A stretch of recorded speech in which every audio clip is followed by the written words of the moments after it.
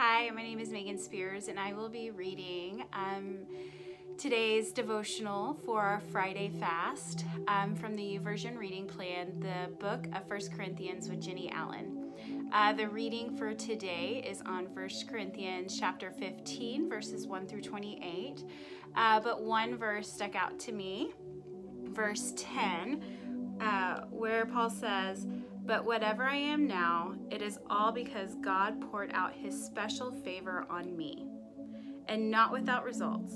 For I have worked harder than any of the other apostles, yet it was not I, but God who was working through me by his grace.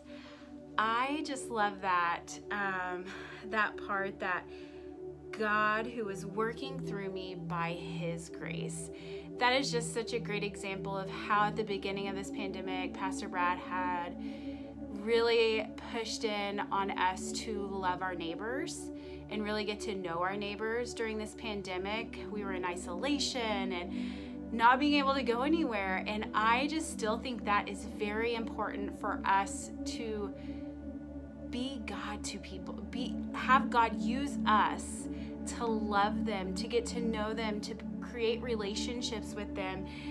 And even whenever we're in the grocery store or at the gas station, wherever it is, just a simple hello, we are sharing the love um, of Jesus that He shares with us daily. He gave us, He gives us so much mercy, grace.